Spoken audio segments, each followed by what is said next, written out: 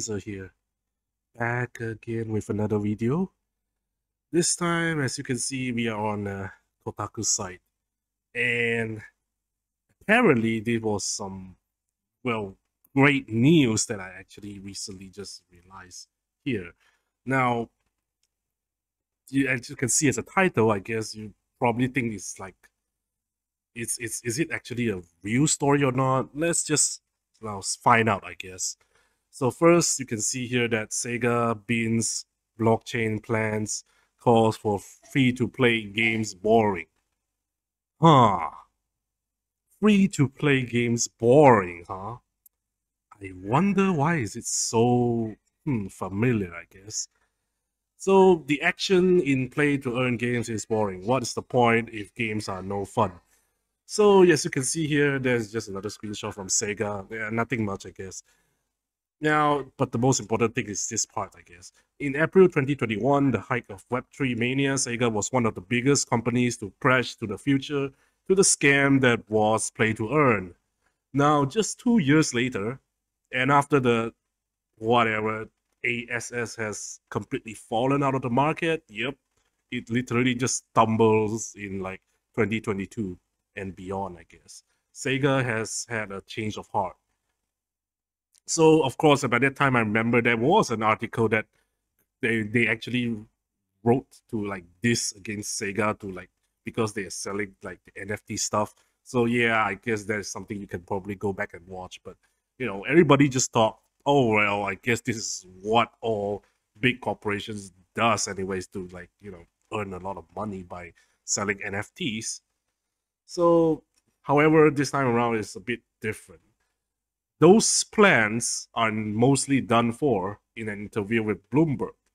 So Sega's co-chief operating officer Shuji Utsumi has said that the company will now withhold its biggest franchises from third-party blockchain games projects to avoid devaluing its content. And will also be shelving plans to develop its own games in that genre, at least for now we are looking into whether this technology is really going to take off in this industry after all. Yup, I am really glad Sega literally is just gauging by announcing that all crappy, you know, NFT thing, you know. So Utsumi told the site, adding that while its biggest franchises are off the table, the lesser known properties like Three Kingdoms and Virtua Fighter will be seeing still seeing some NFT tie-ins albeit from third party uh, providers, I guess. So, well, the Three Kingdoms stuff and the Virtua Fighters is all mostly on arcades, anyways. But yeah, they are not exactly like uh, extremely valuable IPs, I suppose. So yeah, it's okay for them to have NFT tie-ins. It's alright. And of course, there is this one small place here that you probably have missed here. Look at this one quote here. His best quote, however, is when he bluntly says that the action in play to earn games is boring. What's the point of if games are no fun? Uh, my guy, we were telling you that in 2021. Glad you finally came around. Now that the action in play to earn games is boring. What is the what the point what's the point if the games are no fun? That is like the most important phrase that they somehow didn't really highlight until the end. And this literally debunks the whole of like Sega creating the whole, you know, super game and all of that. The whole super game thing and a project is going to involve NFTs and stuff because they have signed an agreement with a company here like uh, double jump Tokyo stuff, you know. But yeah, apparently they are going to like, uh, you know, they're going to bench that whole idea. At one point, I just say, "Hey, that's pretty good," and this is actually generally a very very great news, I guess. As you can see here, a lot of like people are actually responding about this whole NFT argument about oh this play to earn and play to win is like uh is, is literally coexisting. I really like this one message however, the one comment from this uh, uh, person here who is called Ray Fighter. Uh, the typo in the title is kind of amusing because free to play games and play to earn games have this many in, things in common, yet so very much not at all the same things. Yeah, apparently the the title that you see just now is a typo. I guess they were maybe going to title it as play to earn instead of free to play games are boring, but never mind. But but the fact is that you can see that here they say free to play games. No, no, we are not pay to win. We are really not. Pay no attention to all the gray areas that we are sliding into all the time. While pay to earn games actually are like, lol, everything is so freaking pay to win, but you totally make it, rich guy. Really, you just need to spend a little bit more. Yep, that is the. so basically, pay to earn is literally free to play, but like monetized to high hell, I guess, because yeah, it, it's all about the pay to win. The more money you chip in, the more advantage you get in the game that has this pay to earn mechanic stuff.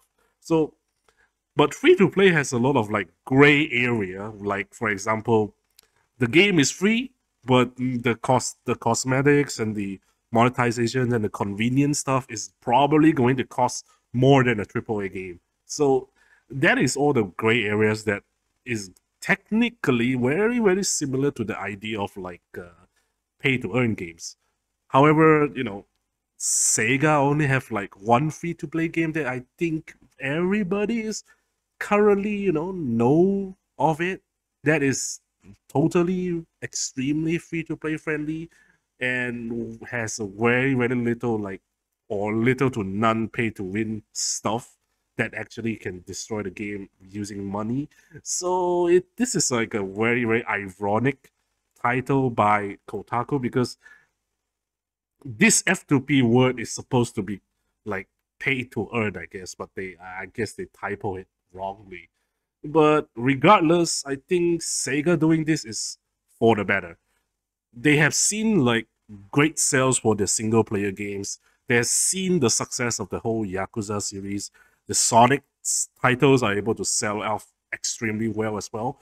Uh, right after Sonic Frontiers and the whole Sonic movies doing very well in the box office, they realized that hey, you know, NFT is probably not going to earn us as much as our core franchises.